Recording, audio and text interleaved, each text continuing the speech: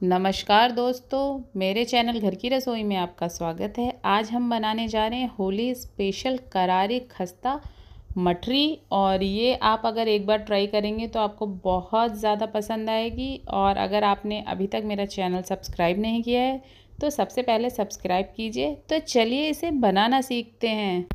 सबसे पहले हमें लेना है दो कप मैदा, ग्राम में ये 500 ग्राम है और वीडियो में हम थोड़ा सा शूट नहीं कर पाए और इसलिए मैंने इसमें मेज़रमेंट लिख दिया है। वन टेबल स्पून कसूरी मेथी, वन टीस्पून इसमें हम अजवाइन डालेंगे, सॉल्ट अपने टेस्ट के अकॉर्डिंग और वन फोर्थ कप हमें घी लेना है और वो पिघला हुआ घी नहीं होना चाहिए, मल्टेड घी का यूज़ बिल्कुल नहीं करेंगे।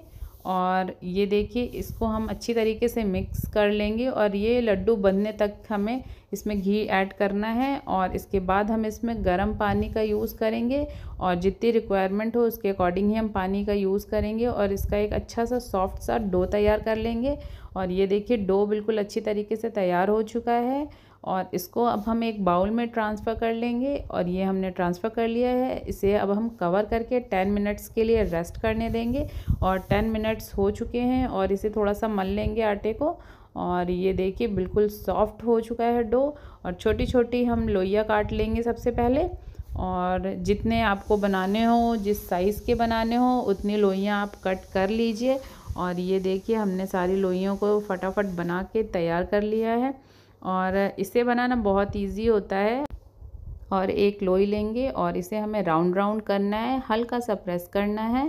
और ये देखिए, हमने इसे हल्का सा प्रेस कर दिया है और फिंगर से हमें साइड साइड से दबाते जाना है। और ये देखिए, हमारी मटरी जो है फ्राई होने के लिए रेडी हो चुकी है।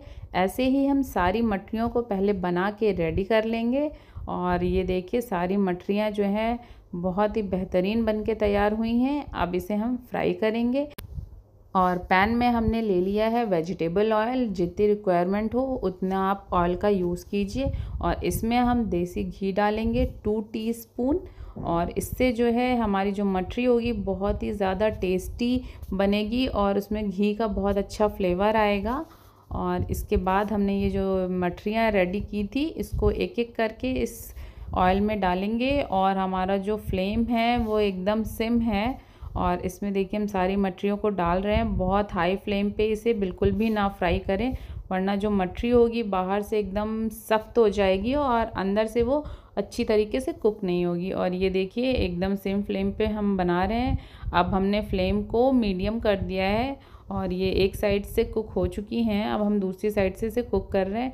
जब एक साइड से ये कुक हो जाए, उसके बाद ही आप इसे पलटिए और ये देखिए, बहुत ही अच्छा कलर आया है और होली में आप इसे ज़रूर ट्राई कीजिएगा।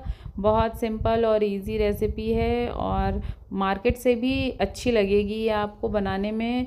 और ये हम घी में बना रहे हैं तो बहुत ज़्यादा ही टेस्टी लग रहा है देखने में ही। और ये देखिए, हमारी जो मठरी का कलर है वो बहुत अच्छा है। जब आप सिम फ्लेम पे इसे बनाएँगे तो बहुत ही अच्छी करारी जो है हमारी मठरी बन के तैयार होगी।